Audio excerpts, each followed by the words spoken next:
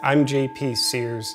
I'm going to share with you an ultra spiritual perspective on Thanksgiving.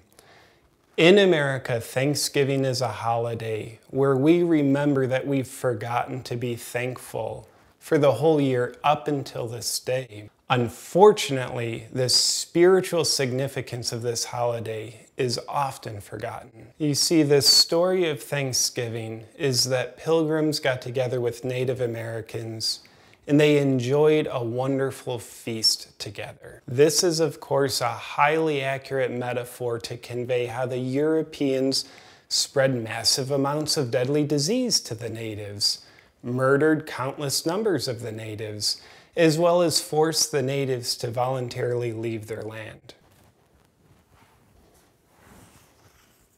Daniel, would you be willing to leave the couch so I could have it all to myself, please?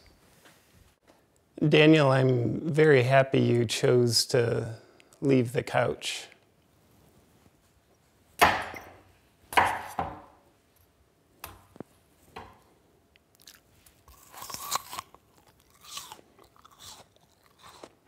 So, the spirit of Thanksgiving tells us the more you take, the more you have, which means you have more to be thankful for. In the words of the late 20th century poet Calvin Broadus, I gotta get mine before you gotta get yours. Everybody's got their cups, but they ain't chipped in. Happy Thanksgiving and enjoy your tofurkey.